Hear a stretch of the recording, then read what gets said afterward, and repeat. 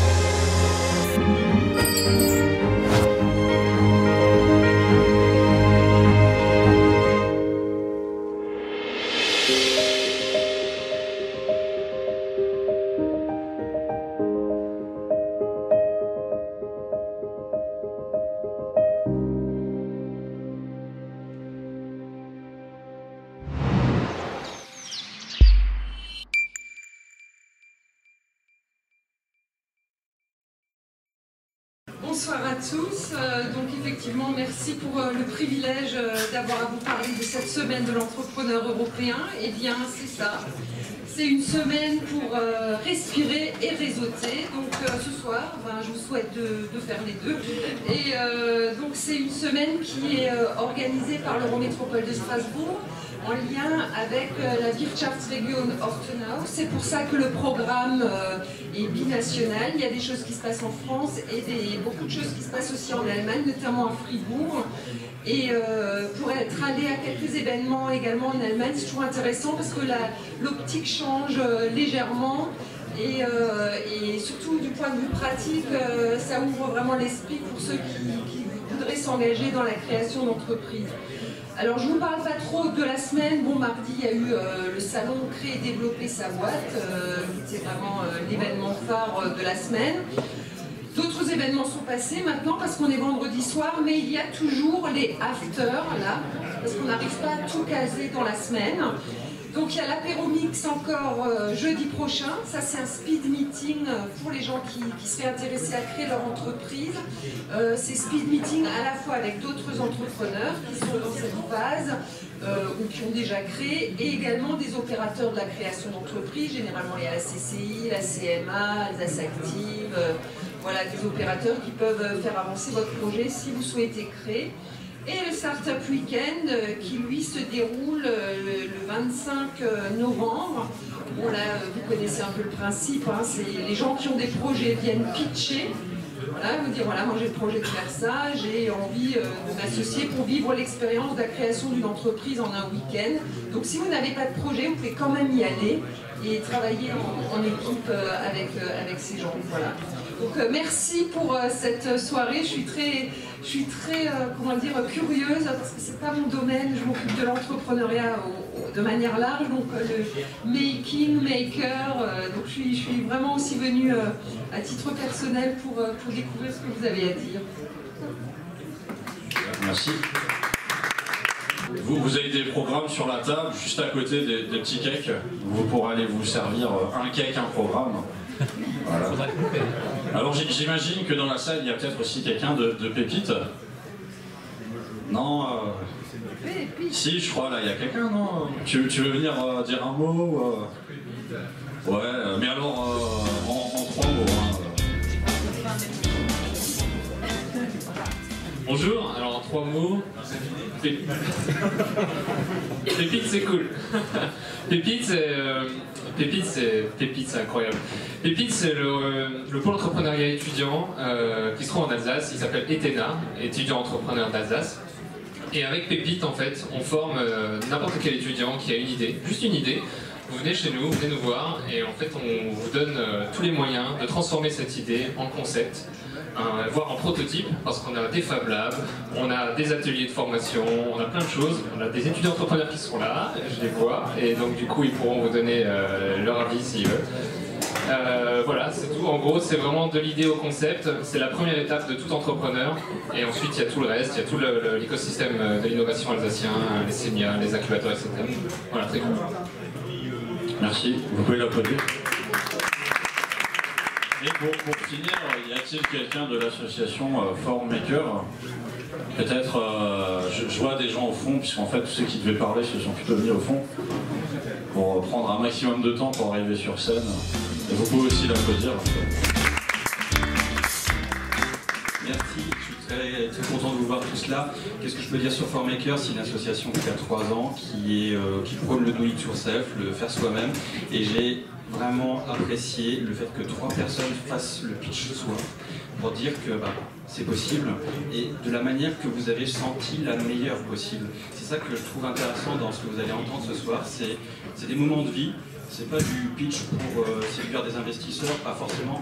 Euh, l'entrepreneuriat, c'est aussi respirer, c'est aussi réseauter, c'est aussi le faire ce soir. Et euh, merci d'être là.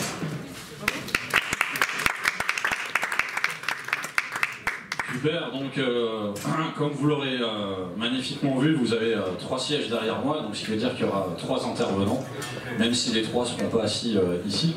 Ensuite, vous aurez une phase de questions-réponses directement avec l'intervenant et à la fin, euh, on les fera tous revenir euh, sur scène pour euh, parler un peu plus sérieusement. Et chaque intervenant sera entrecoupé de petites vidéos qui durent, on va dire, deux minutes à peu près, qui vous permettront de mieux comprendre l'environnement, le mouvement, etc.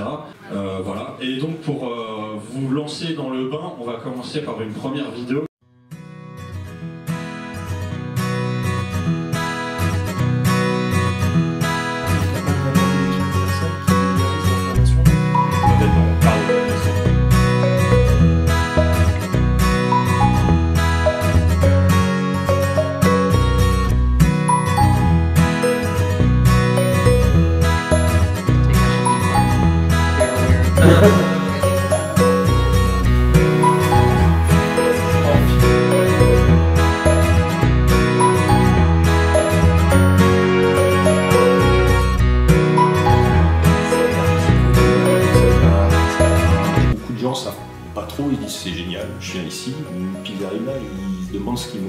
Donc c'est le fait de mettre des gens ensemble, qu'on ait mis des gens qui faisaient de la couture avec des gens qui faisaient des commandes numériques qui font qu'on arrive à faire des, projets où on fait de la broderie, qu'on a des radios amateurs qui traînent, qui viennent faire de, l'électronique, qui font aussi que ben, on se parle et pouvoir monter des antennes pour parler à des satellites. On est un coffee maker, un shoe maker, un car maker, un film maker.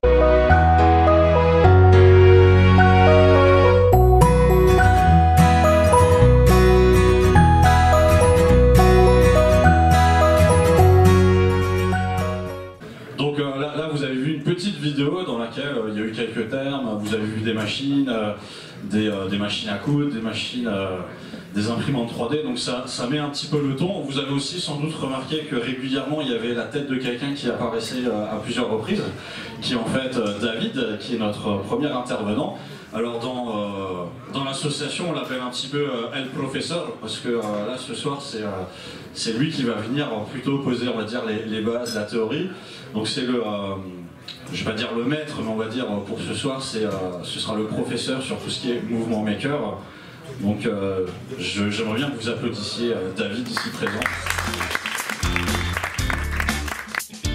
Bonsoir à tous, Euh, je suis donc David Leblanc, je viens du monde aéronautique et j'ai récemment publié un livre sur l'innovation qui s'appelle Smart World. Et pendant l'écriture de ce livre, j'ai interviewé beaucoup d'entrepreneurs, dont des, makers. En fait, c'est pendant l'écriture du livre que j'ai découvert le mouvement maker. Et euh, comme, euh, comme j'ai interviewé euh, quelques makers, j'en ai profité pour compiler les interviews filmées et en faire un documentaire que j'ai diffusé gratuitement sur YouTube. Et le, documentaire s'appelle Les makers, une autre vision de l'innovation. D'abord, est-ce que dans la salle, tout le monde sait ce qu'est un maker? Est-ce que vous pouvez lever la main ceux qui savent ce qu'est un maker? Ok. Donc il y, a, moins de la moitié euh, des gens ici qui savent ce que c'est. Pourtant, donc vous êtes euh, bienvenus euh, ici parce que c'est, quand même quelque chose qui, qui se répand. Il y, a, de plus en plus de makers partout et si on ne fait pas attention, on risque d'en devenir un soi-même. Donc déjà, je voulais, je voulais commencer en partageant un témoignage que j'ai lu récemment d'une enseignante à Kiel qui enseigne en, en école primaire. À la rentrée dernière, elle a accueilli un, un petit lituanien de 6 ans, euh, en- donc en Allemagne, et il ne parlait pas du tout allemand. Et quand elle a voulu lui parler, il a commencé en parlant en anglais. Un anglais euh, avec un accent britannique, euh, un, tr- un très bon accent, et un vocabulaire plutôt bon. Quelques semaines après a eu lieu la, la réunion parents-professeurs. Et lors de cette, cette réunion parents-professeurs, l'enseignante a, dit aux parents qu'elle était impressionnée par la qualité de l'anglais de, le- de leur enfant. Et en fait, les parents ne savaient pas que l'enfant euh, parlait euh, un tel anglais. En fait, il, il n'était jamais allé en Angleterre. euh, il ne parlait pas anglais. Et l'enfant, en fait, avait appris euh, par lui-même sur Internet en jouant à des jeux, en regardant des vidéos sur YouTube. C'est un phénomène qui est, qui n'est pas anecdotique, c'est quelque chose qui, devient en fait qui est autour de nous. On n'en a pas assez conscience. Euh, c'est lié à, ce qu'Internet offre et à, toute la connectivité. Et en fait, il y a quelques années, il y a quelqu'un, un Indien qui s'appelle Sugata Mitra, qui a témoigné euh, sur TED à propos d'une expérience qu'il a fait avec des enfants de 12 ans. Donc il, a, il est allé dans une, dans une ville en Inde euh, très défavorisée, euh, où l'anglais n'est pas du tout parlé. Il a, donné un, il a mis à disposition un ordinateur aux enfants, un groupe de 30, euh, un peu moins de 30 enfants. Il les a laissés avec l'ordinateur pendant deux mois. Donc lui, il est parti, il les a laissés avec l'ordinateur, et deux mois après, il est revenu. Et il leur a demandé ce ben, euh, qu'ils avaient appris. Alors sur l'ordinateur, il y avait donc l'ordinateur était entièrement en anglais et il y avait des cours de biotechnologie. Et c'était des enfants de 12 ans. Donc, pour bien comprendre le contexte. Donc il est revenu deux mois plus tard. Il leur a demandé euh, ce qu'ils ben, ce qu'ils avaient appris avec l'ordinateur, s'ils avaient un peu, euh, un peu tapoté sur le clavier. Et les enfants ont répondu qu'ils avaient absolument rien compris. Mais euh, vraiment, euh, enfin, ils, ont, ils limite dit qu'ils n'y avaient pas touché. Donc lui, euh, ça l'a interrogé parce que des enfants, normalement, c'est curieux. On les laisse avec un ordinateur qui a plein de fonctions, il y a des choses qui, qui bougent sur l'écran. Et donc, il, il leur demande Mais qu'est-ce que vous avez fait pendant deux mois? Vous n'êtes même pas allé toucher l'ordinateur. Et puis là, il y a une petite fille qui, qui réagit et qui dit, à part le fait qu'une mauvaise réplication d'une molécule d'ADN peut générer des maladies génétiques, nous n'avons rien compris. Donc, ça, c'est euh, c'est une enfant de 12 ans. On l'a laissé deux mois euh, avec son groupe, avec un ordinateur. En deux mois, elle a appris l'anglais et euh, ce qu'était la biotechnologie. Et ça, en fait, c'est quelque chose qui est important dans le mouvement Maker, parce que c'est la, puissance du partage de l'information, l'accessibilité, la connectivité, qui font euh, qu'on est capable de faire des choses euh, qui, sont inhabituelles. Et ça remet beaucoup en cause le, mode de formation par diplôme euh, qu'on connaît depuis longtemps. Parce que finalement, les compétences, on est, ça devient très difficile de, les cadrer, de savoir qui est compétent sur quoi à partir du moment où, où finalement, en fonction d'un projet, on va se former sur telle et telle chose pour mener à bien le projet. Et telle et telle chose, ben, ce n'est pas guidé par une matière, c'est guidé par le projet. Donc maintenant, je voudrais euh, savoir si vous voyez un point commun entre toutes les images qui s'affichent euh, derrière moi. Oh, toi, tu sais déjà. Personne voit le point commun? En fait, le point commun, c'est la crise de 2008. En fait, c'est évident pourtant. En fait, en, en 2008, il y a beaucoup de, monde qui a vu le, verre à moitié vide. Il y avait des, pertes d'emploi, des gens qui ont perdu leur logement. Euh, ça a été une crise vraiment, vraiment terrible. Et pourtant, dans, le même temps, il y a une, part de la population qui a vu le verre à moitié plein. C'est-à-dire, euh, ils ont vu des opportunités. Et en fait, c'est la période pendant laquelle la toute première imprimante 3D grand public est sortie. Alors à l'époque, il fallait la refaire soi-même on trouvait les plans sur Internet euh, et, on l'a créé soi-même, mais elle était accessible et réalisable par n'importe qui. Et c'est cette imprimante ensuite qui a déclenché ce qu'on connaît aujourd'hui avec euh, des imprimantes 3D partout. C'est aussi 2008 l'année euh, de l'apparition du Bitcoin. L'idée était de, s'opposer au système bancaire centralisé. C'est l'apparition de l'iPhone deuxième génération qui a propulsé l'iPhone comme, on le sait. C'est la propulsion de Blablacar et du nombre de covoitureurs. C'est aussi l'apparition des cobots, donc ces robots qui accompagnent les ouvriers euh, dans, les usines, mais aussi les artisans euh, boulangers, euh, chocolatiers, pour les gestes répétitifs, pour leur éviter des maladies professionnelles. Et c'est l'officialisation du projet Google Car, et donc de, la course aux véhicules autonomes. Donc voilà, tout ça, ça s'est passé en 2008. Donc c'était vraiment une crise en demi-teinte. Et c'est quand on zoome sur, euh, l'imprimante 3D qu'on commence à percevoir le mouvement maker. Alors j'ai parlé de la connectivité tout à l'heure, mais c'est aussi euh, ce qui a aussi lancé le mouvement maker, euh, c'est tous ces outils de production qui ont permis de faire facilement soi-même chez soi, dont l'imprimante 3D fait partie et un vrai symbole. Donc finalement, qu'est-ce que c'est qu'un maker? Un maker, il y a trois choses qui rassemblent tout maker. C'est le plaisir qu'il a à apprendre, à créer, au sens de vraiment faire concrètement les choses, et à partager, au sens de transmettre une connaissance, de se remettre en question, d'animer un groupe, euh, de vraiment partager au sens, euh, au sens large.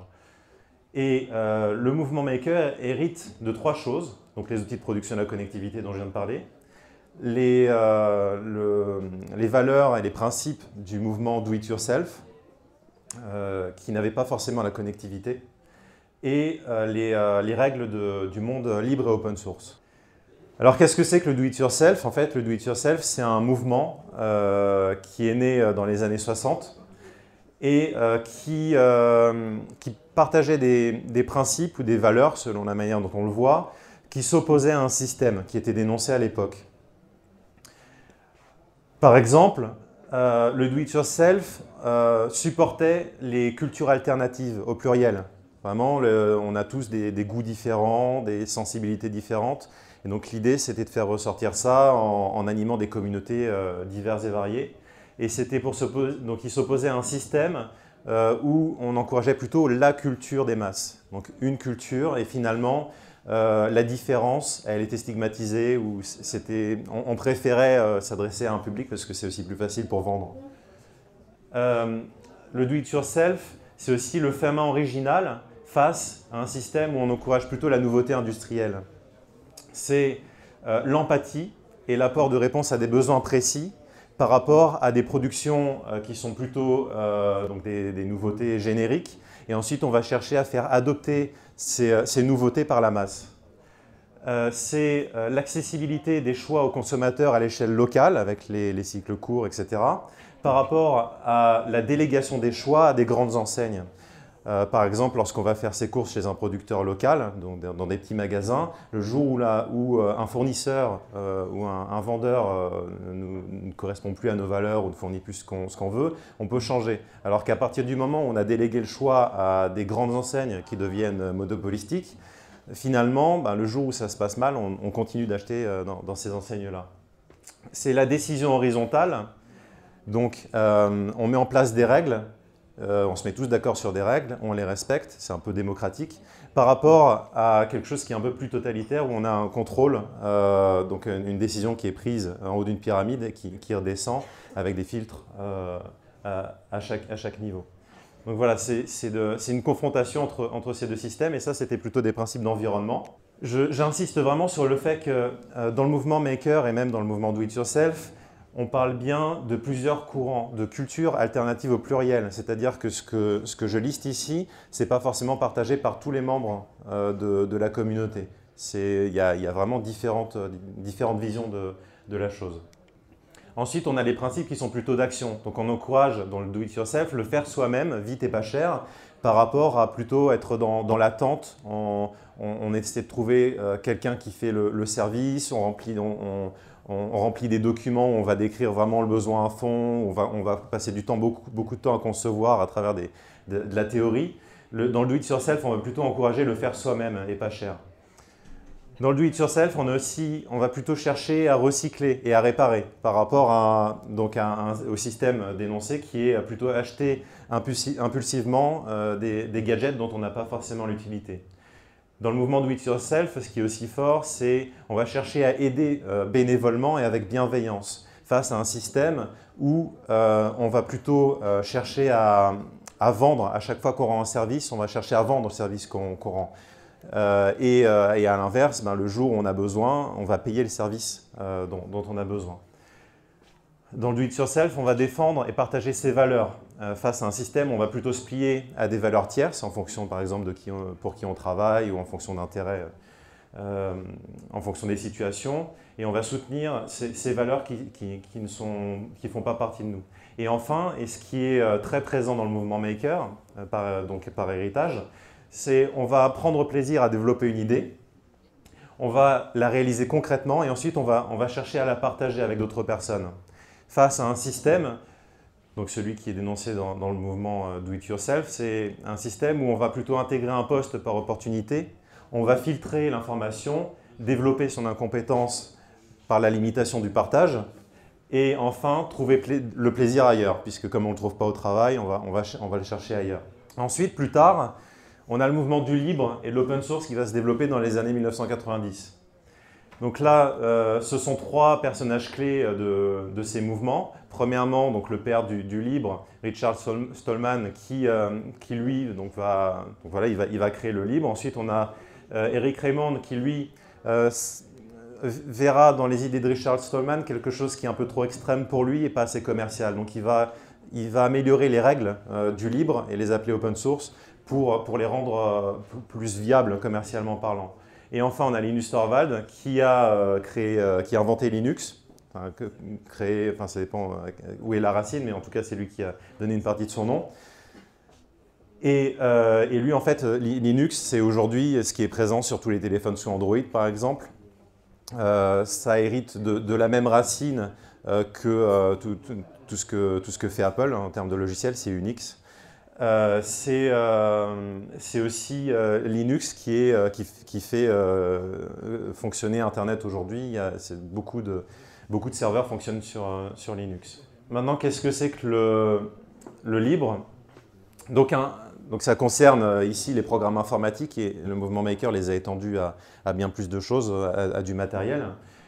le libre, on peut, qualifier un logiciel de libre à partir du moment où on peut l'exécuter pour tout usage. On ne va pas contraindre l'utilisation du logiciel à une activité particulière. On va, permettre euh, d'étendre l'utilisation. On va autoriser euh, l'étude, la, dissection du logiciel. On va autoriser la, modification pour euh, une adaptation, pour, des améliorations en fonction d'un besoin précis. Et on va autoriser la distribution, donc la distribution à volonté du, du logiciel créé. Maintenant, on va parler d'open source. L'open source, d'abord, il faut comprendre ce que c'est qu'un code source pour comprendre ce que c'est que l'open source. En fait, un code source, en logiciel, c'est comparable à un plan en architecture, à une partition en musique, à un texte en littérature et un schéma structurel en électronique. Alors un programme est open source si son code est libre, donc il respecte les règles euh, précédemment citées, mais en plus, il doit être disponible sur Internet. Donc on doit avoir une plateforme sur laquelle on peut télécharger le code source. Il doit être signé à chaque fois qu'une modification est réalisée sur, euh, sur le code on, doit voir qui, a fait la modification et surtout conserver le nom des auteurs précédents, euh, euh, qui nous permet de savoir qui a modifié quoi à quel moment.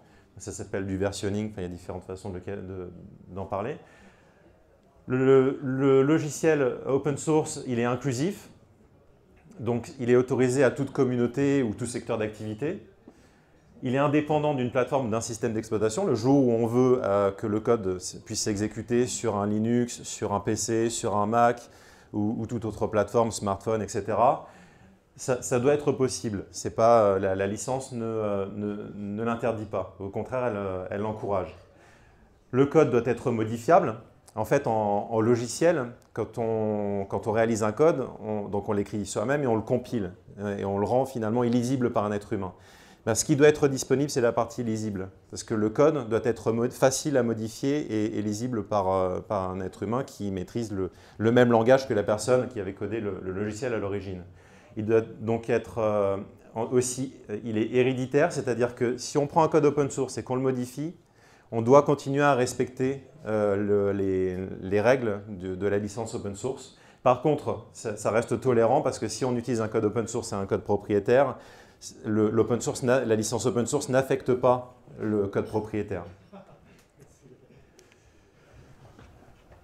Donc voilà, on a, on, a fait un peu le, tour de, ce dont hérite le mouvement maker en termes de, valeurs, de principes, etc. Et encore une fois, euh, tous les makers ne partagent pas euh, ces, valeurs-là. Il y a vraiment des, courants euh, différents, mais il faut être conscient qu'il y a cet héritage quand même et les makers se rejoignent dans des, dans des, lieux, des tiers-lieux, qui s'appellent makerspace et hackerspace. Alors qu'est-ce que c'est que la différence? La différence, c'est que le hackerspace, il va plutôt euh, naître parce qu'une communauté existe et qu'elle a besoin d'un lieu pour se retrouver. Alors qu'un makerspace, c'est un lieu qui est créé pour accueillir une communauté qui n'existe pas forcément encore. Donc on va, on, va, mettre à disposition du matériel, des équipements. C'est typiquement ce, que, ce un Fab Lab, par exemple, un makerspace. Alors je voulais partager avec vous euh, l'histoire d'un maker euh, que, j'ai rencontré pendant, pendant les interviews qui s'appelle Massimo Monzi. Massimo Monzi, en fait, il était professeur euh, de physical computing à l'université d'Ivrea en Italie. Et, et, en fait, il enseignait donc à ses étudiants en design comment rendre des, objets physiques interactifs avec de l'électronique. Et en fait, le problème, c'est qu'à chaque euh, objet euh, créé, il fallait créer l'électronique adaptée et les étudiants passaient plus de temps à se poser des problématiques d'électronique, des problèmes de soudure, des problèmes de câblage, des, problèmes d'électronique alors que c'était des étudiants en design, que à vraiment étudier le design. Et donc Massimo Monzi, son idée, ça a été de créer une carte générique d'électronique qui permettait à n'importe qui facilement de créer un objet connecté, de rendre interactif euh, un objet avec une, simple carte électronique. Et cette carte électronique, c'est la carte Arduino. Donc vous avez sans doute entendu parler, puisqu'il y a une énorme communauté qui est née autour de cette carte. Il y a plein de, vidéos euh, sur, sur, Internet qui circulent de projets faits à partir de cette carte.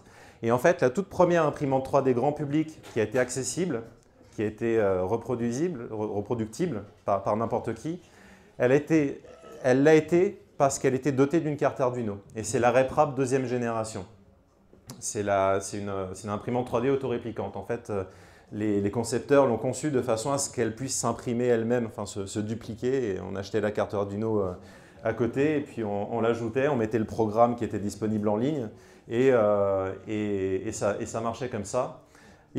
alors il y a une chose aussi à, savoir par rapport à, ce projet Arduino, c'est que les plans de la carte étaient disponibles en ligne. Tous les codes étaient disponibles en ligne. Il y avait même des tutoriels pour expliquer comment reproduire la carte, comment utiliser le code.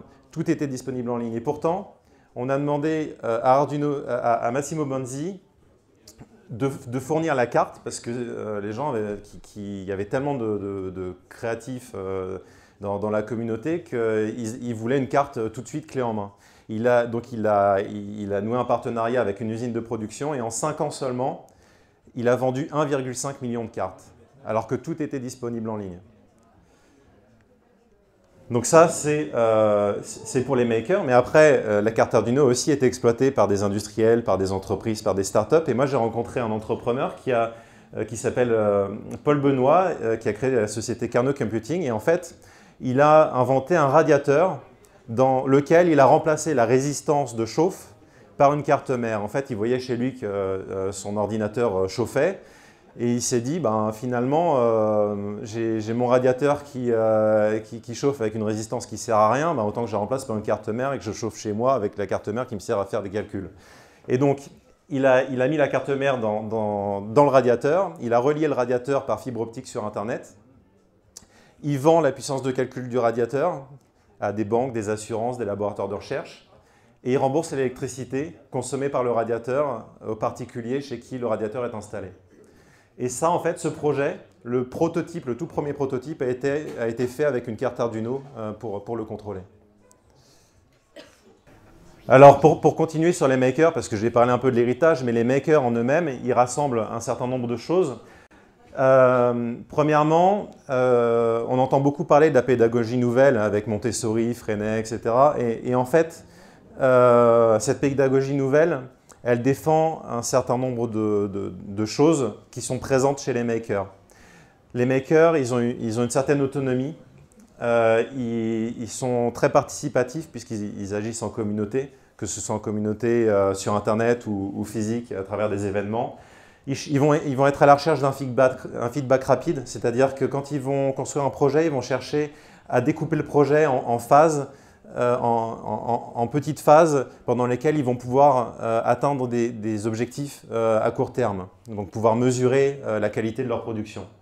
Et la consolidation, ben, c'est le, partage, c'est apprendre de ses erreurs, c'est tout, ça.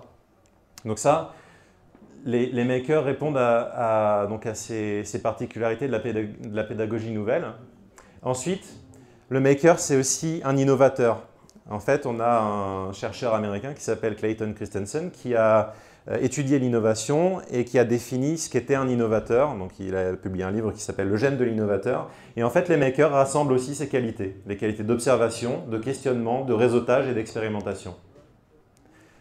Donc, là, après avoir vu tout ça, finalement, quand on regarde un peu plus euh, l'innovation, euh, souvent, on s'est inspiré de la nature, on a constaté des choses dans la nature qui étaient performantes et on a essayé de les imiter. C'est ce qui s'est passé avec l'avion. Quand on a, regardé euh, des oiseaux, on a voulu faire la même chose, on a fait un avion. Euh, pour la robotique sous-marine, on se rend compte que euh, les robots sous-marins tels qu'on les a imaginés, ils n'ont pas, pas, forcément un grand rendement. Et, euh, en imitant euh, les, poissons de euh, la, nature, on se rend compte qu'il y a des performances extraordinaires. Au niveau de l'informatique, l'intelligence artificielle s'inspire des réseaux neuronaux. Et, finalement, le maker, la manière dont on, crée les, makers, dont on les définit, les, échanges qui sont créés, finalement, est-ce que ce n'est pas quelque chose de naturel? Est-ce qu'on n'est pas en train de recréer, sur la base des valeurs que j'ai citées, euh, l'être humain, un être humain performant, euh, et à tel point que des, entreprises, des grands groupes, des, TPE, des PME envoient des, salariés euh, dans les Fab Labs, dans les makerspace, pour s'inspirer de la façon de faire et gagner en performance. Donc, voilà, donc la, dernière question, c'est une question ouverte, c'est est-ce que finalement, le maker, ce n'est pas une nouvelle technologie humaine basée sur le meilleur de ce qu'on peut trouver chez l'humain? Voilà, je vous remercie.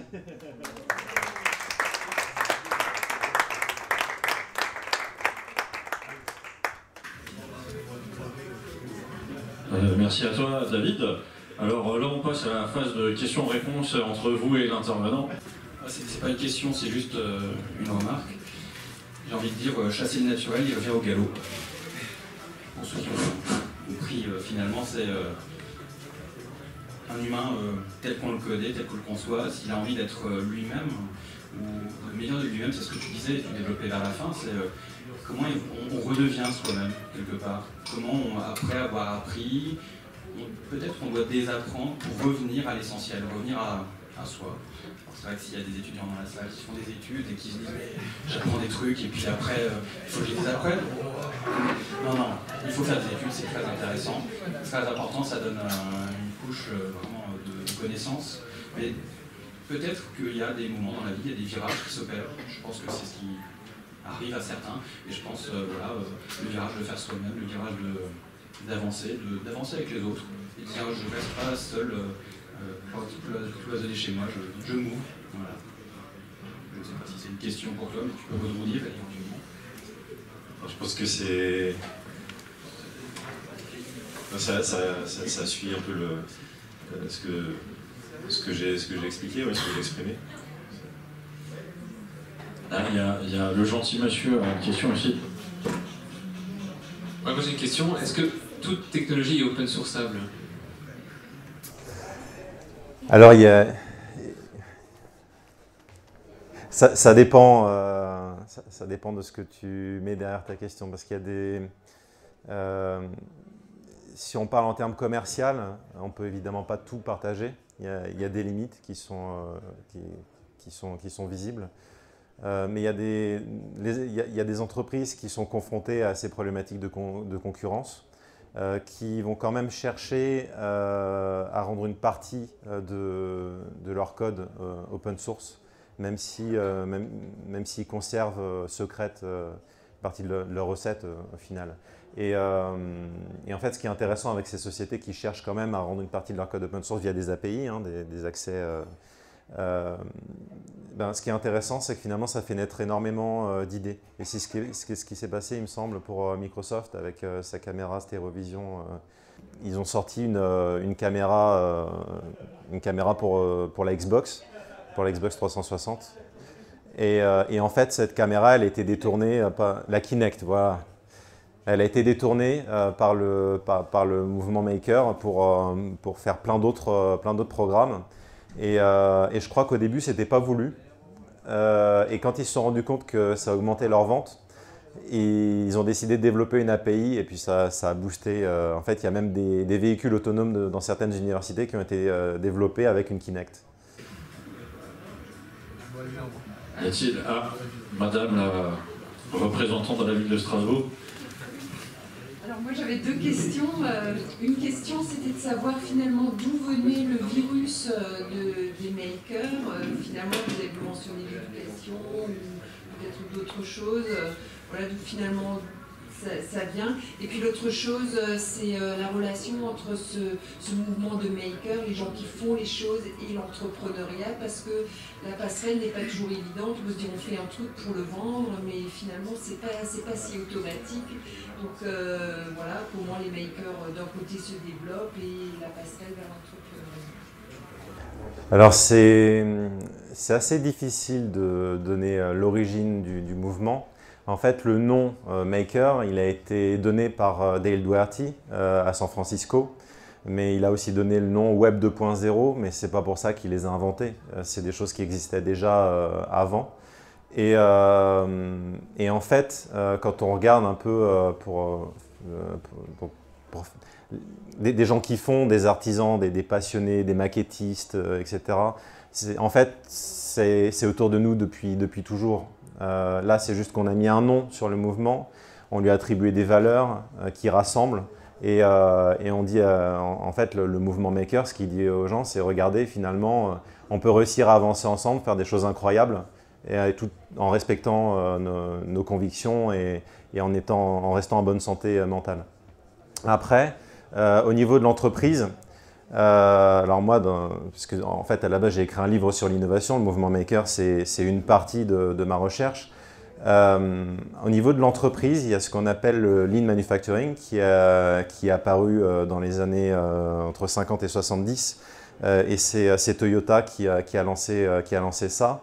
Et, et en fait, le, donc ça s'appelait le TPS et ça a été formalisé par les Américains sous, en tant que Lean Manufacturing.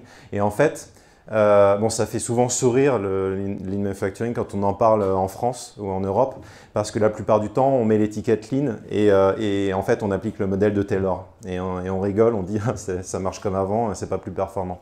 Sauf qu'en fait, euh, le lean manufacturing, c'est ce qui a permis à Toyota de passer de dernier de la classe, une société au bord de la faillite, au numéro 1 mondial en l'espace de, 20 ans.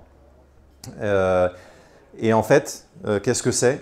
C'est tout simplement euh, l'industrie basée sur, sur l'humain. En fait, la, condition au Japon euh, où ça a été développé, euh, c'était, il y avait, les syndicats avaient un, fort pouvoir.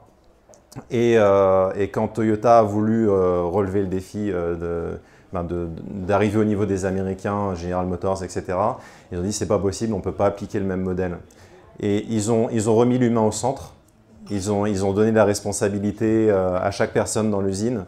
Euh, et ils ont inventé ce qu'on appelle l'amélioration continue, euh, où euh, finalement on va arrêter la chaîne de production à chaque fois qu'il y, a un bug et on va y réfléchir. On va demander aux experts sur place d'y réfléchir et non pas une tête qui, est peut-être à des milliers de kilomètres, de réfléchir au problème qu'elle n'a pas vu, qui, est, qui réel sur place. Et en fait, alors ça, l'explication pourrait durer très longtemps sur ce sujet parce que c'est quelque chose qui est vraiment complet et, et intéressant. Et là où je veux en venir, c'est que ça, ça a inspiré plein de méthodologies qu'on connaît aujourd'hui, euh, autant dans, les startups que, que, dans les sociétés. Les méthodologies agiles avec Scrum, euh, ça, a inspiré les méthodologies euh, de design thinking. De, en fait, tout, tout ce qu'on connaît aujourd'hui, ça date des années, ça a été inventé dans les années 50. Bon, aujourd'hui, on en parle comme étant innovant, mais ça s'est développé depuis les années 50. Et donc, c'est le lien avec l'entreprise, c'est que finalement, on a déjà fait la preuve que c'était performant. C'est juste que euh, structurellement, c'est difficile de changer. La transformation, surtout quand on a des mastodontes, c'est très compliqué d'appliquer de, des transformations. Je vois, je vois personne lever la main, donc euh, vous pouvez applaudir. Euh. Merci. How many boards uh, did, did you sell since the beginning? It's probably around one million and a half.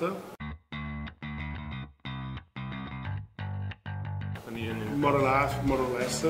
The number of users of Arduino are much more because there are all the Chinese copies, which are probably three or four million at least, and there's also a lot of you know, homemade. compatibles, homemade. People who use Arduino to make their products and say, oh, download the Arduino software and just program it. Anybody can make their own Arduino. But to put together the software, maintain it, add all the features, create the tutorial, documentation is the difficult part. The Arduino website has a little, something like 5 million people that go to it like every three months. In 2014, 18 million people visited the Arduino website at least once. How did you know that uh, you, you could sell a product and at the same time give everything? The model was kind of similar to a fashion model. In many countries, fashion cannot be protected. So what you do, you start branding it heavily, like you know, the Louis Vuitton bag is the example. You put the logo everywhere, so if you want to copy the bag, you're copying the logo. There are some people that they want a shirt that says Armani, but they obviously don't want to pay the money uh, because they want somehow the brand, kind of thing, but they don't want to spend the money. And those people, they will never spend more money for the original.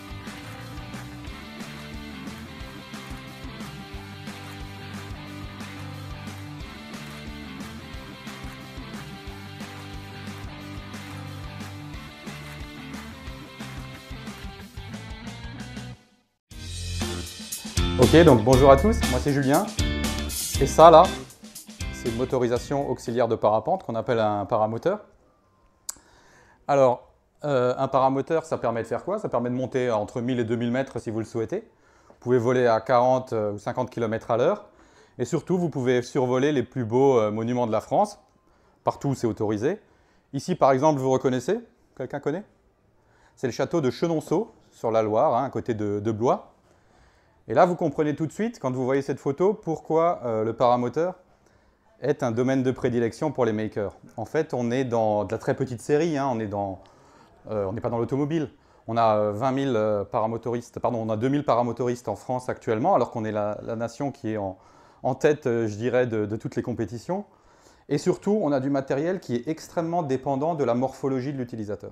Donc on est typiquement dans le domaine d'utilisation des makers, où on va faire de la très petite série, extrêmement personnalisée. Par exemple, la poignée des gaz, qui est sur le côté là-bas de l'appareil, je vous la montrerai tout à l'heure, elle est souvent réalisée en impression 3D parce qu'elle doit être moulée à la forme de la main. Et euh, on ne peut pas euh, dépenser des, dizaines de milliers d'euros pour fabriquer des moules. Donc ça, typiquement, euh, on va le faire en impression 3D. Un autre exemple, c'est bah, cet appareil où j'avais envie de, monter un autre moteur dessus.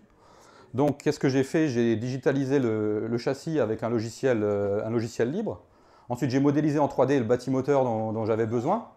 là aussi avec un logiciel, un logiciel gratuit. Ensuite, je l'ai fait fabriquer, alors pas en impression 3D ce coup-ci, mais en découpage au jet d'eau, donc une technologie un peu plus ancienne, mais qui marche très bien. J'ai monté le tout et aujourd'hui ça vole, hein, donc euh, je vole, euh, je vole avec cet appareil. Alors, comment on peut voler euh, en paramoteur? Il y a plusieurs manières de pratiquer. Une des façons de pratiquer, c'est de faire la promenade du dimanche en fait. Hein. Vous allez tourner autour du, village à côté de chez vous, ou, autour du bois. Donc là, alors on voit pas bien parce que le, projecteur est mauvais, mais en fait c'est Michel qui est quelque part au-dessus du Rhin, entre Fegersheim et Markolsheim, pour ceux qui connaissent. Pour l'info, euh, la photo a été prise par une caméra qui elle-même est stabilisée par des ailettes imprimées en impression 3D. Donc ça c'est pour la petite histoire. Et euh, ce que je voulais vous dire là, c'est que la promenade du dimanche, du dimanche c'est sympa. Mais quand, euh, comme moi, vous pratiquez depuis 15 ans, au bout d'un moment, c'est toujours la même chose. Je veux dire, moi, j'ai fait 400 fois le tour de la forêt de Brumat. D'ailleurs, je ne sais plus au-dessus de la maison de qui je passe tout le temps, là, c'est lui. et donc, du coup, au bout d'un moment, ça devient un petit peu toujours la même chose. Donc, on peut faire ça. Donc ça, c'est comme les Red Bull Race aux États-Unis, hein, donc où vous avez des avions de voltige qui en fait euh, font des circuits autour de pylônes gonflables. Ben, nous, on fait pareil. Euh, c'est sympa, mais ça nécessite d'aller très loin parce qu'il faut faire ça au-dessus d'un plan d'eau, qu'on finit une fois sur dix à la flotte. Et, euh, en plus, bon, ben, il faut se bloquer une semaine. Enfin, c'est pour des gens qui ont le temps, quoi, comme des étudiants ou des. Non, je rigole. je, déconne. bon, voilà, des retraités plutôt. Voilà, vous voyez ce genre de, de gens-là. Donc là, ça va pas être bon. Et du coup, euh, bah, du coup moi j'ai rencontré, et merci de m'avoir euh, tendu la perche, euh, moi dans le cadre de ma, vie professionnelle, j'ai rencontré une association de makers, parce que je suis dans une grande entreprise qui cherchait à, utiliser les makers pour en fait booster son innovation. Et ce que j'en ai retiré, c'est que bah, j'ai compris les valeurs des makers. Et en fait, je me suis demandé qu'est-ce que ça donnerait si on appliquait les concepts des makers de façon complètement radicale à un domaine, par exemple mon loisir. Et c'est ce que j'ai fait. Et je suis arrivé à la conclusion que l'innovation euh, dans le paramoteur ne viendrait pas du matériel comme on pourrait l'imaginer, parce que ça on le fait déjà naturellement, mais du digital et du numérique. Donc je me suis posé la question comment on pourrait rentrer du digital et du numérique dans cette discipline-là? Et je suis arrivé euh, à la conclusion suivante, c'est que j'allais créer une troisième manière de pratiquer le paramoteur, qui est en fait le vol de distance. Donc j'ai codifié la discipline, j'ai écrit un règlement, j'ai créé une plateforme informatique qui en fait euh, permet tout simplement euh, de, pratiquer le paramoteur en communauté, mais sans avoir besoin de se déplacer. Donc comment ça marche? Alors, je vais vous l'expliquer. En fait, vous faites un tour en paramoteur. Jusque-là, rien de très compliqué. Vous enregistrez votre vol grâce à ceci. Alors ça, c'est un enregistreur de GPS de randonnée. Hein, vous trouvez ça à Decathlon. Hein. Euh, vous pouvez utiliser votre smartphone aussi si vous le souhaitez. Et une fois que vous avez, vous avez enregistré votre trace, vous me l'envoyez à moi. Et moi, je fais ceci, c'est-à-dire un rapport d'homologation et je calcule un nombre de kilomètres euh, homologués. Donc là, par exemple, c'est le plus gros rapport d'homologation à ce jour dans la, CFDM, dans la Coupe française de distance en paramoteur. Donc le collègue est parti de euh, quelque part à, l'est de Paris. Il a volé pendant 11 heures d'affilée dans la même journée sur ça, hein, et il a parcouru 603 km. Donc euh, il a fait 4 posées intermédiaires, à côté de stations-service qu'il avait repérées sur Google Earth hein, pour faire le plein. Euh, le tout est parfaitement réglementaire, hein, je tiens à le préciser. Et il a décollé avant le, lever du soleil et il s'est posé juste après le crépuscule, ce qui ça aussi est réglementaire. Donc euh, ouais, là c'est quand même un allumé. Très, très clairement, euh, il faut quand même le faire. 11h11 dans la même journée, là, il faut, être motivé. Donc avec ça, moi je fais un classement individuel et par équipe. Et surtout, là où ça devient intéressant, c'est que je fais vivre la communauté. Donc pour ça, j'utilise la presse, j'y reviendrai, je distribue des trophées, je suis présent sur les rassemblements, je fais des super euh, t-shirts et des polos. Et je fais surtout vivre la communauté via euh, les réseaux sociaux, en fait grâce à des publications sur Facebook. J'en ai fait 150 jusqu'à présent. Alors je vais vous en montrer une. Donc ça c'est Claude, le gamin de l'année dernière. hein. Donc Claude, il est un peu, un peu pas bien dans sa tête non plus. Et en fait, euh, il décide en plein hiver d'aller monter au pic du Midi de Bigorre dans les Pyrénées, donc à 3200 mètres, avec ça. Et euh, il fait moins 7. hein. Et donc vous imaginez juste la tête du pilote d'avion dans sa cabine chauffée qui pense qu'il fait du vol extrême, qui voit passer euh, Claude 200 mètres au-dessus, qui lui fait coucou, assis là-dessus. Et voilà, donc ça nous a fait, bien rire, sachant qu'il faisait moins 7, l'instrument a gelé. Donc là, c'est un autre exemple, c'est Patrick qui décolle euh, à Bordeaux. Patrick, euh, il tombe en panne euh, au-dessus d'un des grands châteaux des vins de Bordeaux. Il se pose dans, la cour du château. Bon, ce qui est louche, c'est qu'il s'est posé deux fois, donc ça, il faudra qu'on éclaircisse le truc. Et ça s'est fini dans la cave du château parce que le propriétaire du château ben, l'a très bien reçu et ils ont fini par goûter les bouteilles de vin. Donc en termes de vol de distance, c'était pas super, mais c'était pas mal en termes d'histoire, on le raconte encore. Posé à la station, là ce qui est marrant, c'est qu'il faut imaginer la tête des gens quand vous vous posez, que vous allez, pendant le gars il est en train de faire son plein, le gilet jaune, machin là, et nous on est à côté en train de faire le plein de, l'appareil, donc ça c'est aussi très très drôle. Pour, les, euh, pour le vol par équipe, donc pour les principales équipes, on a créé des logos. Donc là, vous avez le logo de l'équipe Red Bull. hein, euh, moi, je trouve qu'il est très réussi. Euh, et c'est ceux qui ont gagné l'année dernière. Alors, si on parle un peu de chiffres, aujourd'hui, j'ai homologué 4000 traces pour 214 000 km, soit deux tiers de la distance Terre-Lune. Euh, L'objectif, c'est l'année prochaine d'arriver sur la Lune. hein. Celui qui fait le dernier kilomètre pour arriver sur la Lune gagne la bouteille de champagne, logique. Et après, on va faire comme Elon Musk, euh, on va aller sur Mars, logique aussi. Euh, voilà. Un dernier exemple pour vous dire que tout ça c'est collaboratif, c'est-à-dire qu'aucun de ces vols n'aurait eu lieu sans la CFDM. Ça c'est très clair, tous les pilotes l'ont dit. Tant celui qui a fait 11h11 que ceux-là qui sont partis de Bordeaux à Troyes qui ne se connaissaient pas, qui ont voulu traverser l'estuaire de la Gironde, mais à cause du plafond de nuages, ils n'ont pas réussi. Donc ils ont descendu, euh, ils sont déroutés, ils ont descendu le- l'estuaire de la Gironde sur 30 km, contourné une centrale nucléaire, traversé là où il y avait l'île. Ensuite, ils ont traversé la forêt des Landes, qui, si vous la connaissez, est extrêmement inhospitalière. Et ils sont arrivés génial à la dune du Pilat, au lieu du vol libre euh, en France, où en fait, ils se sont rendus compte que sur trois GPS, il y en avait un qui avait plus de piles, l'autre où ils ont effacé la trace en essayant de la télécharger, et c'est seulement le troisième où ils ont réussi à télécharger à la trace et à me l'envoyer pour en fait euh, attester de leur, record. Donc bien joué, bien joué les gars. Fallait bien partir à trois pour arriver à ce résultat. Donc c'est des gars qui sont capables de faire euh, 140 km avec ça, mais qui sont pas capables de charger leur GPS. hein. Donc, euh, euh, voilà. Euh, alors si on fait un bilan, on voit ici euh, que ça marche assez bien parce que là vous voyez tous les départements à partir desquels on m'a envoyé une ou plusieurs traces, y compris la Nouvelle-Calédonie, qui, euh, vous le savez, est restée française. Euh, et on voit ici, euh, en fait, et ça je suis assez fier de ça, c'est qu'il y a des événements spontanés qui se créent dans la communauté sans que moi j'ai besoin de faire quelque chose. Par exemple, le tour du sud-ouest en paramoteur, aussi appelé le TSOP. Bon, c'est plutôt le tour des vins du sud-ouest en paramoteur, comme vous le voyez ici. Vous avez la mission 100 km en Seine-et-Marne. Là, l'objectif, c'était de partir à 10 et de revenir à 10. Ils y sont arrivés, parce qu'en général, il y en a toujours un qui finit dans un champ quelque part. Et le dernier week-end, c'est Bouillabaisse et CFDM. Ça, c'est les gros cadors de la CFDM. Donc, eux, c'est plusieurs milliers, voire plusieurs dizaines de milliers de kilomètres par an. Le premier, actuellement, il, fait a fait 12 000 km depuis le 1er janvier. Ça représente quand même 40 km tous les deux jours en paramoteur. Donc ça, c'est des, euh, c'est des types un peu allumés, eux, et ils ont eu le temps de se faire une bouillabaisse, en fait. Alors, euh, la fédération me soutient, donc j'ai eu droit à une double page dans euh, le trimestriel de la fédération. Et là où ça devient intéressant, c'est qu'on ne sait jamais trop quel est le modèle économique chez les makers. On ne sait jamais trop comment ça va ramener de l'argent ou, comment on paye les frais au moins. Eh bien, en fait, euh, moi, j'écris des articles sur l'avancement de la compétition dans la presse, et il s'est avéré que je parle plusieurs langues, et que, euh, de fil en aiguille, ils m'ont demandé de faire la traduction d'articles techniques, ce que je fais aujourd'hui. Et euh, ben, en fait, je suis rémunéré pour ça, pas beaucoup, mais ça me permet de payer les frais liés à la, compétition. Et euh, en fait, jamais j'aurais imaginé que le modèle économique, ce serait la presse quand j'ai euh, démarré. Alors le futur, le futur, c'est une euh, nouvelle plateforme informatique euh, pour contrôler les espaces aériens, pour euh, partager le travail d'homologation, pour que ce ne soit pas moi qui fasse tout le, travail. C'est également intégrer les autres classes du LM, hein, les pendulaires, les multi-axes, les autogires, enfin tout ce genre de trucs. Et pourquoi pas aller à l'international, parce qu'il n'y a pas de raison qu'on ne fasse pas profiter nos collègues européens du vol de distance. Voilà. Je voudrais terminer en disant qu'on a vu tout à l'heure que les valeurs des, des makers, c'était learn, make et share. hein.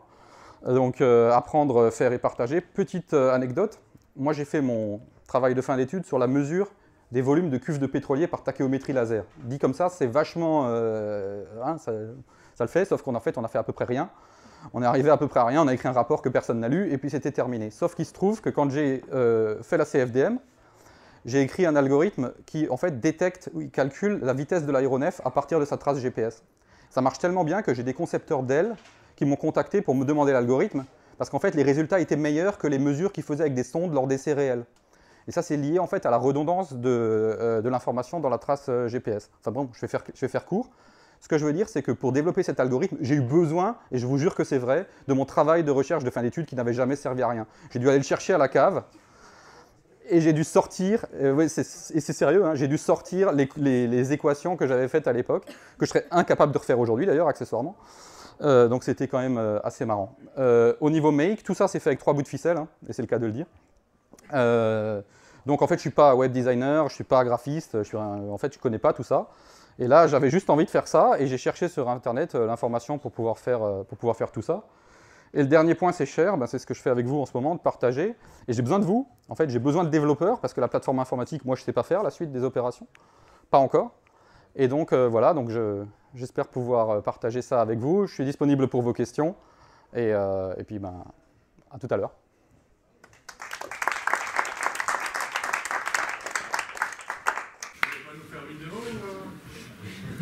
Alors j'y ai pensé, mais euh, bon, après ça va sentir le deux temps. En plus, je vais souffler toute la scène, donc ça risque d'être problématique.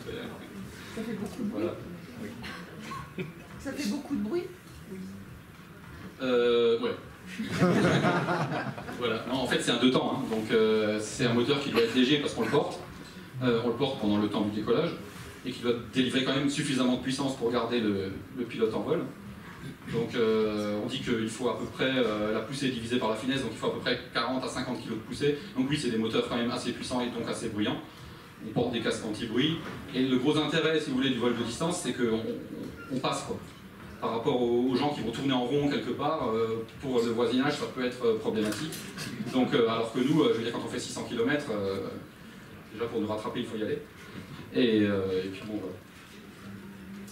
Je vois qu'il y a le gentil monsieur a encore une question. Euh, euh, oui, ma question c'était par rapport au fait que, euh, aux formations. Comment ça se passe en fait pour, pour pouvoir faire ça? Il y a quoi comme formation à faire? Sur combien de temps? Alors, euh, c'est tout à fait comparable à. Moi, je dis toujours que c'est comparable à un permis moto. Donc, c'est exactement le même temps qu'il vous faut, ça coûte la même chose, l'assurance coûte la même chose, le matériel coûte la même chose, donc c'est vraiment, euh, vraiment ce budget-là auquel il faut penser. On est des vrais pilotes, hein, donc on est formé à la navigation aérienne, euh, au même titre que n'importe quel pilote, y compris un pilote de Boeing, etc. On connaît les zones, etc. On est, on est censé savoir tout ça. Après, on vole moins haut, donc on est moins emmerdé, mais, mais voilà. Une autre question? Vous avez tous envie de le toucher, de, de vous asseoir dedans, c'est ça? Il pèse, il pèse combien euh? Alors c'est c'est en général les trois questions qu'on a. hein. C'est lourd, c'est cher, c'est dangereux. Donc t'as encore le, le c'est dangereux. Alors euh, il, pèse, euh, il pèse quand il est plein 30 kg. Quoi. Et moi il m'arrive de décoller avec des réservoirs additionnels et là je pars à 40-45 kg. Donc là ça commence à être euh, vraiment du sport pour pouvoir partir. Euh, un des pilotes qui a fait 598 km récemment, il est parti sur roue, donc il avait monté des roues dessus, tout ça c'est bricolé maison. Euh, il avait accroché des, euh, réservoirs sur le côté et il a réussi à faire un seul posé intermédiaire. Donc il avait une autonomie de pas loin de 250 km. bon, il est parti avec 40 litres d'essence. Personnellement, je ne suis pas très fan. Je trouve que l'option de se poser à, à une station est plus intéressante. Mais ça, c'est vraiment la communauté euh, qui, devient intéressante parce qu'on échange sur la technique, on échange sur la sécurité. Euh, c'est là où ça devient, ça devient vraiment intéressant. Par exemple, la CFDM, comme j'ai dit, j'ai essayé d'appliquer radicalement le concept des makers. Le, code source est ouvert. Quand les types qui sont venus me demander l'algorithme pour euh, le calcul de la vitesse, ben, je me suis demandé si j'allais leur fournir ou pas. Parce que quelque part, l'algorithme, il a une forme de valeur. Mais je veux dire, soit on veut faire le maker, soit on veut pas. Quoi. Donc j'ai tout simplement ouvert, ouvert ça, et c'est super intéressant parce que maintenant j'ai un partenariat avec un éditeur de logiciels, etc. etc. J'a- J'allais dire, est-ce que c'est dangereux pour pouvoir répondre à, à ta troisième question? Moto. Moto. Donc c'est aussi dangereux que de faire de la moto. Et donc oui, il y a des gens qui se tuent en moto. Et oui, il y a des gens qui peuvent se tuer en paramoteur. Je veux dire, si vous faites n'importe quoi, oui, vous vous faites mal. Ça aussi, c'est de la responsabilité individuelle. D'ailleurs, c'était une des grandes questions au début. Est-ce que moi, je risque quelque chose en animant une compétition où des gars peuvent éventuellement se faire, se faire mal? Mais là, pareil, je veux dire, à chacun sa responsabilité. Moi, j'anime la compétition. Et puis après, chaque pilote est pilote. Il est commandant de bord. Il est chargé de sa propre sécurité. Maintenant, vous pouvez. Ah, non, en fait, j'ai deux questions. Ouais, J'aurais pas dû poser la question sur la dangerosité. Bonsoir. Euh, Est-ce que vous envisagez une, une option sans essence euh, électrique par exemple? Oui, alors c'est une, bonne question. En fait, la CFDM, euh, l'idée m'est venue de la CFD des parapentistes. Et eux, euh, c'est leur grand truc. quoi. Les parapentistes, eux, ils aiment bien faire de la distance. Comme ils n'ont pas de, de moteur, ça leur paraît logique d'essayer de faire des compétitions de distance. Et l'innovation de mon côté, ça a été de dire, mais pourquoi pas au moteur? Pourquoi pas avec l'hélice? Et tout le monde a dit, ouais, mais euh, il suffit de mettre de l'essence. Mais c'est pas si simple que ça. Parce que pour aller faire 600 km, il faut pas juste mettre de l'essence, il faut avoir prévu la navigation aérienne, il faut avoir repéré, euh, repéré les endroits, il faut avoir réfléchi sur son habillement, parce que je peux vous dire que vous avez froid quand vous volez pendant 11 heures euh, d'affilée, etc., etc. Donc en fait, la compétition est différente. Donc, pour répondre à votre question, oui, ça existe, ça s'appelle la CFD, c'est la coupe de distance des, des parapentistes. Et il existe naturellement des moteurs électriques. Là aussi, c'est le règne des makers. hein. Il existe une association de, de pilotes en France qui euh, développe en fait en mode open source et les logiciels et l'électronique euh, des moteurs électriques pour le vol. Le gros problème, c'est l'autonomie. Donc euh, ils vont pouvoir voler 10-15 minutes. Euh, nous, on est des pilotes de distance, donc nous, on a besoin de, on a besoin de puissance quoi, pour aller vite et pour aller loin. Dernière question. Euh, je voudrais savoir comment est-ce que vous vous posez avec ça? Est-ce que vous vous cassez souvent la, la gueule quand vous vous posez? Parce que Alors, euh, on se casse plus souvent la gueule au décollage en fait. Euh, que- que- qu'au posé. Euh, le décollage est plus compliqué que le posé. Moi j'avais mon instructeur avait pour habitude de dire on finit toujours par atterrir. Euh, et c'est vrai. Euh, je vous garantis que c'est vrai. Donc non, on se fait pas très mal euh, à l'atterrissage. On peut se poser. euh, on peut se poser dans un buisson sans aucun problème. C'est d'ailleurs une manœuvre assez connue quand on a trop de vent de face. Euh, bon, ça, ça paraît extrême, ça l'est pas en fait. Si vous, si vous pratiquez ça correctement, euh, ça, se passe, ça se passe assez bien. Après, c'est exactement comme la moto. Si vous roulez à 90 dans les routes des Vosges euh, sous la pluie et là où il y a des feuilles mortes, il va vous arriver des bricoles. c'est à peu près le même genre d'idée ici. Si vous ne mettez pas dans les conditions de vous faire mal, vous faites pas mal. Moi, j'ai plus de 1000 vols. Je vole depuis 15 ans. Je me suis jamais, euh, ne serait-ce que foulé la cheville. C'est là que m'est venue l'idée en me disant bah, si j'arrive à louer à distance de la puissance informatique que j'ai chez moi, pour des gens comme la banque euh, qui a besoin de puissance de calcul, bah, je pourrais me chauffer en fait. Le principe de technique au départ, c'est le radiateur numérique qu'on appelle le, le QRAD. C'est un radiateur qui ressemble à un radiateur électrique, le radiateur numérique parce qu'à l'intérieur on a remplacé euh, la résistance électrique par des cartes mères qui euh, vont produire de la chaleur électrique, mais euh, en produisant du calcul. Ce radiateur, quand il est installé quelque part, il est connecté au réseau électrique, mais il est aussi connecté au réseau fibre optique. Et le principe, il est simple, c'est quand, enfin, il est simple, c'est quand une personne va régler son chauffage, il y a un thermostat dessus, et en fonction du thermostat et de la température ambiante, en fait, on va acheminer plus ou moins de calculs dans, dans ce radiateur pour produire la chaleur euh, de la consigne. Le mot radiateur est un mot intéressant parce que quand tu parles d'un radiateur à monsieur ou madame tout le monde, il pense tout de suite au chauffage de sa maison. Quand tu parles d'un radiateur à un ingénieur, il pense tout de suite au refroidissement d'une machine. Donc le radiateur sert à extraire cette chaleur pour aller la dissiper. On a surdimensionné le radiateur de telle sorte que le refroidissement soit totalement passif pour que les processeurs puissent fonctionner à la température qui est la, qui est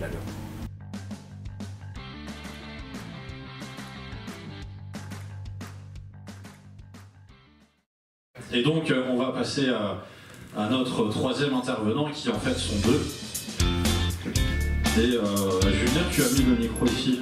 Euh, tu peux donner le, micro à une des deux personnes. Et donc, qui vous feront une intervention un peu plus justement dans le domaine entreprise et maker. Et, et je vous donne à chacun en fait un micro et vous pouvez commencer. Merci, bonsoir à tous. Bonsoir à tous. Euh, alors on se présente, on est Woodlight, donc on est une start-up euh, de biotechnologie à Strasbourg.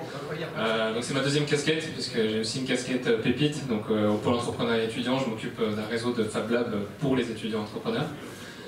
Alors donc aujourd'hui on va vous parler de Woodlight, mais on va vous parler surtout du DIY, du do it yourself en fait, parce que c'est quelque chose qui nous parle vraiment. quand on a créé Woodlight, en fait on a vraiment euh, voulu faire des choses par nous-mêmes, par besoin, et puis parce que c'est vraiment cool. On a, fait, euh, on a fait une formation biologiste tous les deux, Euh, on était très, tous les deux passionnés par la biologie. Euh, donc euh, bachelor, master, PhD, on a été jusqu'au bout, on a fait le, doctorat ici à Strasbourg, Rose en cancérologie et moi en, en génétique. Et à la suite de ça, on s'est dit, bon, c'est cool, on est un super diplôme, mais trouver un job dans la, dans la recherche en France, c'est très compliqué. Alors on s'est dit, bon, ben, tant qu'à faire, on a des compétences, on est, des, on est intelligent, on a fait un PhD. euh, pourquoi est-ce qu'on ne créerait pas notre propre job? Pourquoi est-ce qu'on n'irait pas créer une start-up avec nos compétences? Euh, on, connaît plein de choses, euh, en biologie notamment. On s'est dit, avec la biologie, on peut faire quelque chose.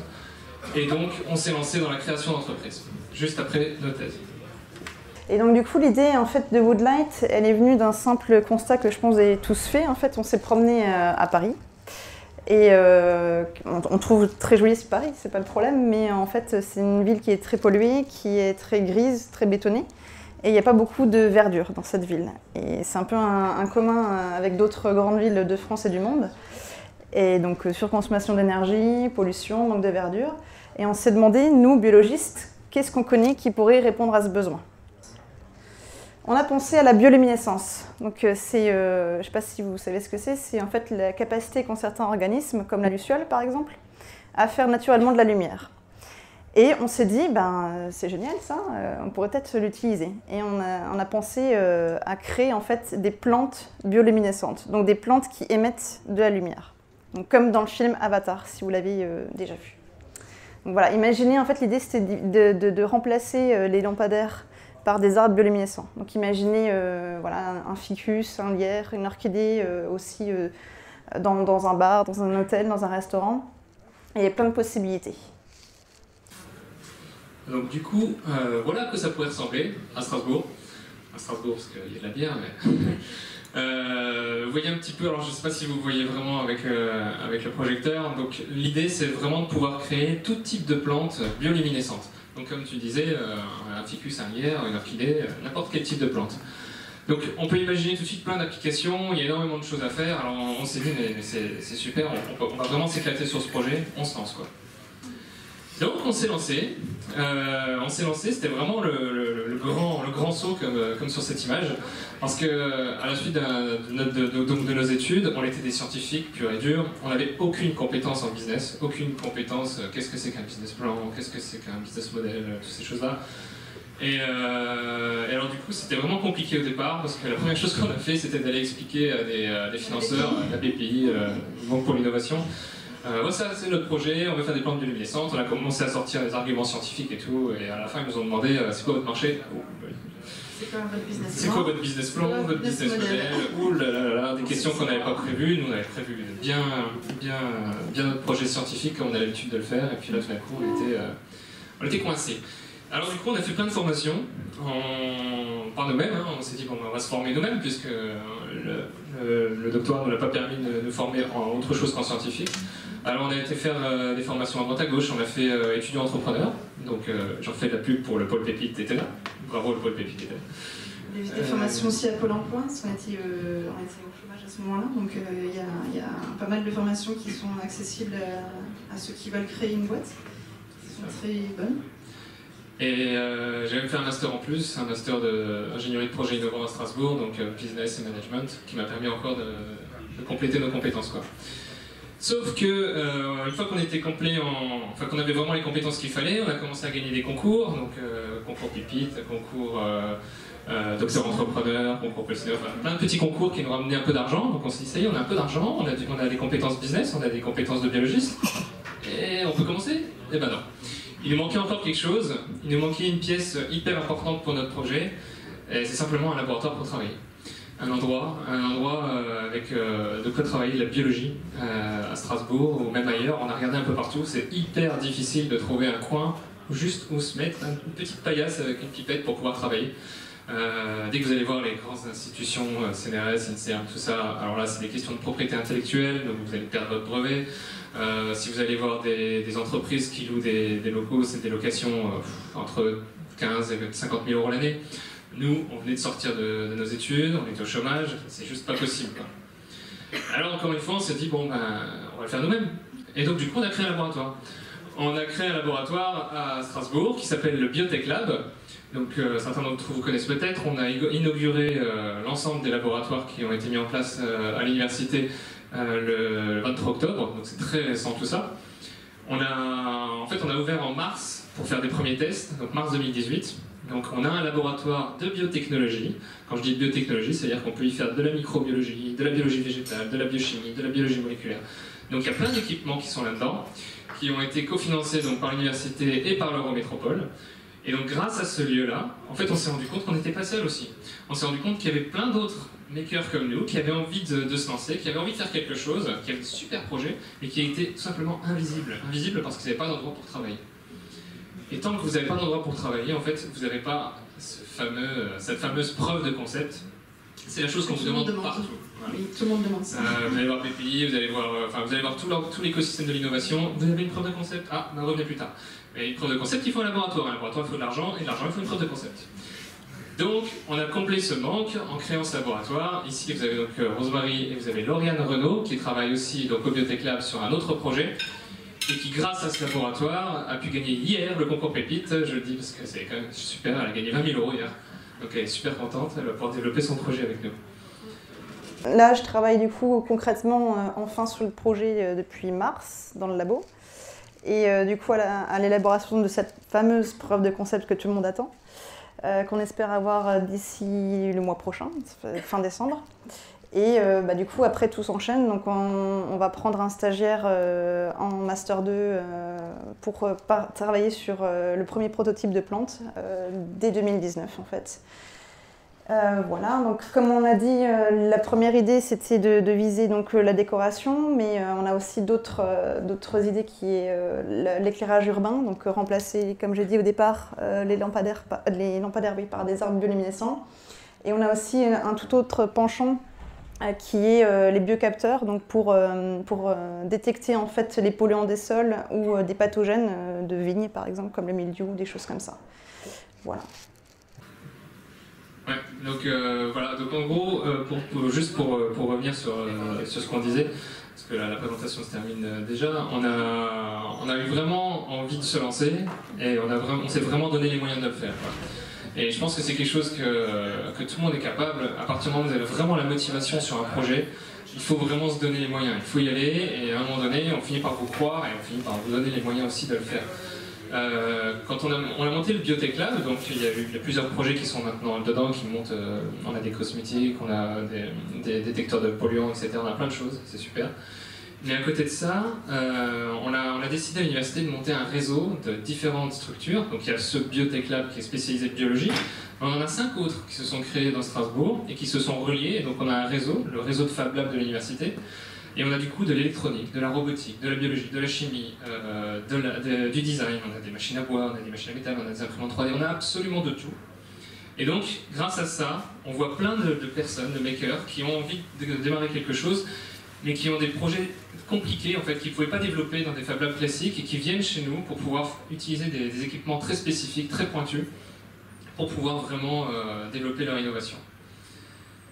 Voilà, donc c'était vraiment le message qu'on voulait faire passer, le do it yourself. Euh, voilà, depuis qu'on a démarré, j'avais mis euh, les, partenaires, on a, il y a plein de gens qui enfin nous ont reconnus puisqu'on est sur une preuve de concept. Donc on existe euh, et voilà, merci.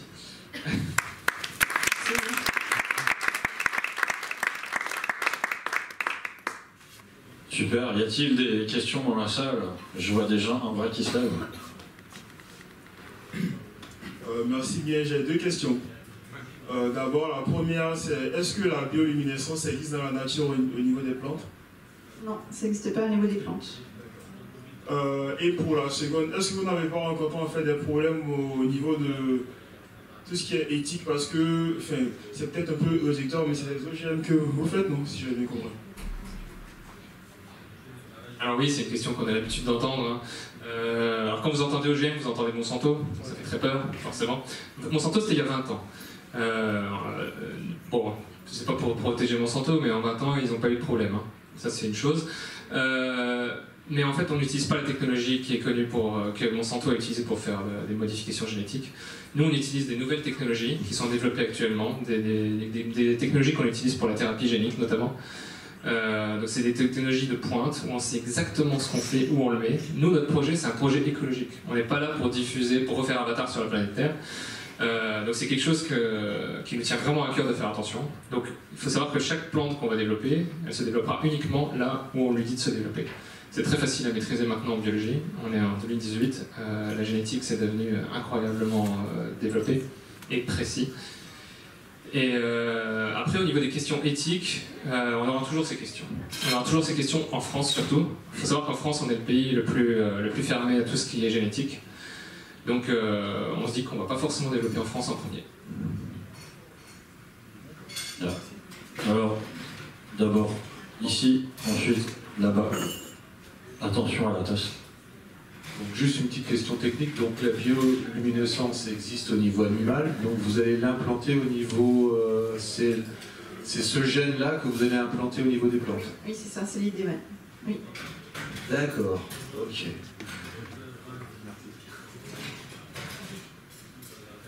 Moi, je suis super impressionné par euh, l'en- l'entrepreneuriat dont vous avez fait preuve, euh, mais j'ai même du mal à comprendre. En fait, vous n'aviez pas de métier par ailleurs pour vous assurer une base de, revenus qui vous permettrait derrière de, vivre aussi, quoi. Euh, voilà, c'était ma question en fait. Oui, alors non. Euh, bon, il faut savoir qu'après un- une thèse, euh, on a deux ans de chômage. Donc il y a un revenu entre guillemets qu'on avait chacun. Donc on, on s'est basé là-dessus, on s'est dit bon, on a deux ans devant nous, allez, on se donne un an, on verra ce que ça donne. Et puis ça va faire trois ans en 2019. Donc à un moment donné, c'est vrai que la question s'est vraiment posée, euh, mais euh, il nous faut une source de revenus, on va pas y arriver sinon. Et euh, c'était pas les petits concours à 5000, 2000 euros qui allaient nous sauver. Et donc du coup, en passant par l'université pour créer ce laboratoire, non seulement j'ai eu accès à plein d'équipements, plein de choses, mais j'ai eu aussi un poste du coup là-bas. Donc pour l'instant, je suis en poste. Donc c'est mon deuxième CDD que j'entame là. Et du coup, ça me permet de, ça nous permet de vivre à deux. Ouais, c'est ça. Une question euh, au fond. Monsieur Une question pratique qui m'est venue euh, juste quand tu parlais de, de lampadaire. Je me dis, mais combien de temps fait, euh, enfin, on fait pour faire pousser un lampadaire? Enfin, un arbre qui va faire l'office de lampadaire. Est-ce qu'on fait des Ça prend greffes plusieurs années quand même, oui. C'est pour ça que c'est déjà pas notre premier marché, parce que ça prend quand même plusieurs années. Je me dis, mais c'est une idée, c'est, en tout cas, c'est, c'est un Ah concept. Ou alors, les, les, les- les arbres qui existent déjà, alors que j'avais fait des choses, non, ça existe, non, ce genre de, de pratique euh, Non. on- Non, greffe, euh, greffe d'arbres, non. Ah. D'arbres fruitiers. Oui, oui d'accord, mais non, je pense pas. Je pense qu'il faut vraiment partir là de, du départ et recréer tout un, tout un arbre en fait. C'est D'accord. ça le. Oui, c'est ça, parce que nos, nos plantes, elles sont, comme je disais, elles vont pousser où on veut, mais en fait, euh, un- un- il faut imaginer ça comme un objet de déco, en fait, pas comme, un, pas comme, comme- pas comme une chose qu'on va mettre dans les champs. La grosse différence avec ce qu'on mettre dans les champs, c'est qu'on veut récupérer les graines, on veut produire. Nous, là, on fait pousser une plante, quand la plante meurt, c'est fini. Elle va pas se reproduire, elle n'a aucun moyen d'aller ailleurs, et c'est terminé. Donc on imagine vraiment ça comme, euh, au départ, nous, notre but, c'est de créer, d'aller sur les marchés de, la décoration, donc vous créez un objet unique et vous le vendez comme ça. En fait, ça va être ça au départ. Euh, la, vision in fine, bien sûr, c'est de remplacer les lampadaires, mais là il y a énormément de questions réglementaires et tout, c'est très compliqué. Donc euh, la décoration pour nous c'est un super marché, sachant qu'en plus euh, on a rencontré des décorateurs et ils sont super intéressés. Tout de suite ils imaginent énormément de choses, des murs végétaux, des plafonds végétaux, luminescents, enfin il y a énormément de choses à faire. Y aurait-il d'autres questions? Je vois dans, dans vos yeux euh, la perplexité.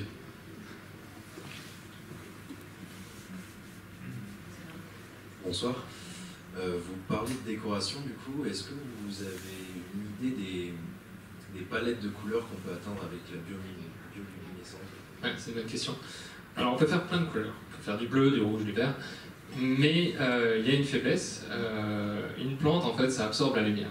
Et quand ça absorbe la lumière, ça absorbe toutes les couleurs, sauf une couleur, le vert, puisque c'est ce qu'elle émet. C'est comme pour ça qu'on voit une plante verte, en fait. Parce que c'est la seule longueur d'onde qu'elle ne va pas absorber. Donc on est obligé d'aller sur du vert pour commencer, parce que ce sera plus simple. Après, euh, il existe des plantes qui ont- qui n'ont pas de couleur, des plantes euh, blanches. Donc euh, là-dessus, on pourra peut-être attaquer sur d'autres couleurs. Il existe des plantes rouges, les érables par exemple. Donc là, on peut peut-être partir sur du rouge. Donc oui, il y a, il y a d'autres possibilités.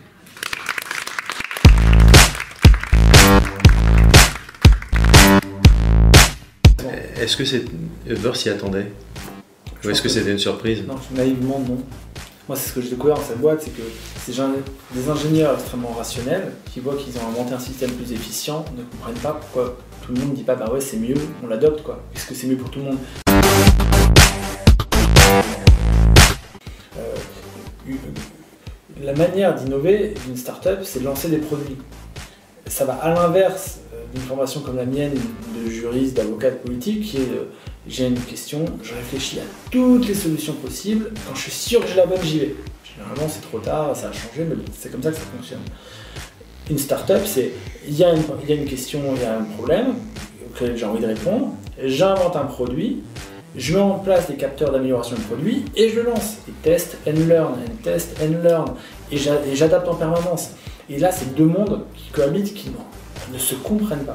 Et en fait, tout ce qui est de, l'irrationnel et tout ce qui est euh, en parallèle surprend. Et c'est ce qui a fait que Uber s'est dit il faut que je recrute des communicants, des gens d'affaires publiques qui pensent différemment, qui ne soient pas des ingénieurs et qui nous aident à appréhender, à comprendre et à traiter, à faire avec ces réactions épidermiques qui ont surgi et auxquelles on ne s'attendait pas. Et donc, du coup, quand Uber lance Uber Pop, c'est pas pour embêter tout le monde en voulant détruire le droit social français. Je attendez, un chauffeur quand il sait conduire, c'est quoi qui le sanctionne? C'est le permis de conduire. Si vous avez votre permis de conduire, vous pouvez emmener 9 enfants dans un minivan pour avoir un match de foot, pourquoi est-ce que vous ne pourriez pas, dans une voiture telle qu'elle est définie par l'État, conduire une personne d'un point A à un point B en étant payé? Est-ce que c'est logique? Ça nécessite un travail d'équipe. Et s'il n'y a pas eu plein d'inventeurs géniaux de startups qui ont un grain de folie, pour arriver à se dire mon idée de partager les bagnoles elle est bonne et je vais convaincre des gens de me prêter des millions de dollars, des milliards de dollars pour aller au bout de cette idée, pour dire aux gens vous avez plus besoin de voiture individuelle que vous aimez tant, il faut avoir un grain de folie.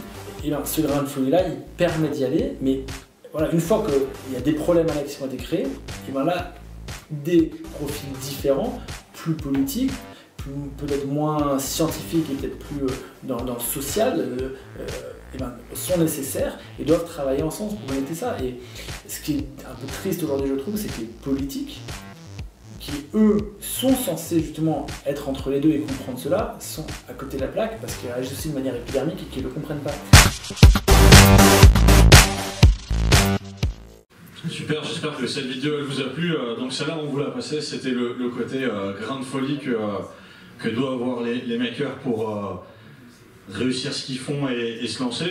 Donc là, on arrive à la fin de la soirée. Euh, je vous remercie à tous d'être venus ce soir. Vous pourrez dire en, rentrant qu'on était les, premiers euh, à cette conférence Showbiz the Maker. Vous avez le droit de vous applaudir vous-même. Euh, allez-y, je vous invite à, vous applaudir.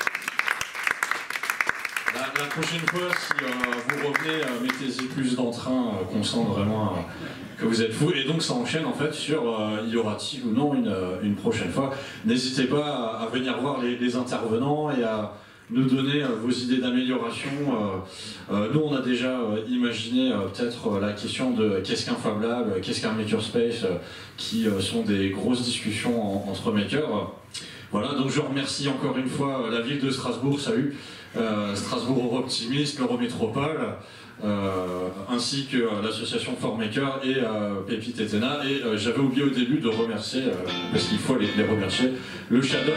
Le Shadok, si vous m'entendez, merci à vous. Vous pouvez applaudir le Shadok si vous, vous souhaitez.